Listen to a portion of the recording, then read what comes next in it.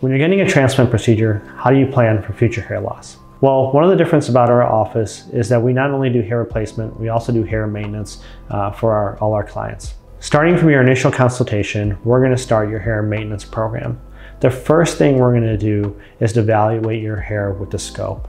We're gonna look at parts of your head that look relatively normal, but we're gonna see if we can find evidence of miniaturization. That's the process of testosterone slowly degrading those hairs. Once we know how much hair we expect you to lose, we'll make sure that we maintain those grafts uh, for in the back of your head for your future. The second thing we're gonna do is put you on a maintenance program directly after your procedure. These maintenance therapies are meant to fit your life.